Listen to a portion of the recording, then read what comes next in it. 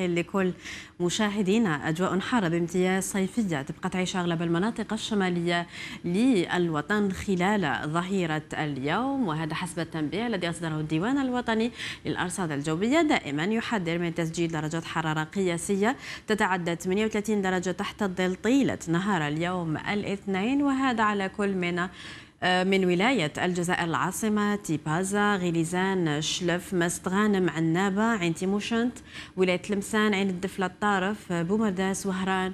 وولاية البليدة.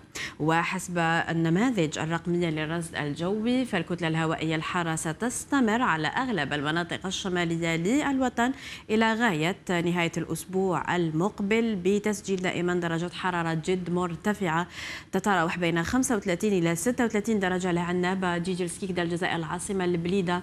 أيضا على وهران عين تيموشنت ومستغانم كما نشوفوا باللون الأحمر. المناطق الداخلية أيضا ستقارب إن شاء الله في حدود 28 درجة للنعامة البيض ومشرية حوالي 38 درجة بعين الدفلة. الجلفة وتيارت ستقارب 30 درجة.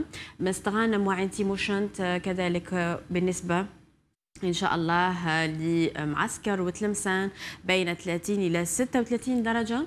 على تيزي وزور 34 درجة خلال ظهيرة اليوم. إن شاء الله قال مطارف سوق هراس باتنا وخنشلة قسنطينة وأم البواقي ستقارب 33 درجة خلال ظهيرة اليوم. أما درجات الحرارة الدنيا المسجلة خلال الفترة المسائية وتحديدا خلال ليلة اليوم ستكون منخفضة على المناطق الداخلية. على العموم ستتراوح بين 8 إلى 10 درجات يعني يعني كان الفرق فيما يخص درجات الحرارة القصوى المسجلة خلال الظهيرة والدنيا المسجلة خلال الفترة المسائية. الولايات الجنوبية تبقى دائما منخفضة آه، أو في المعدل الفصلي يعني منخفضة مقارنة بالمناطق الشمالية. فرح نسجلك على مقياس في حدود 35 درجة خلال ظهيرة اليوم. بإن صالح برج بجي مختار وولاية أضرار بشار 28 درجة غرداية 26 درجة إليزي وجانات آه، وكذلك تامنراست بين 22 إلى 25 درجة.